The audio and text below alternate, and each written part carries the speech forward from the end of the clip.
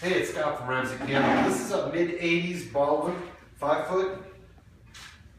It's a gloss walnut, but it's not the polyester. It's more of an old world, real lacquer finish. Um, this thing, I got it from the original owner, and it's absolutely perfect.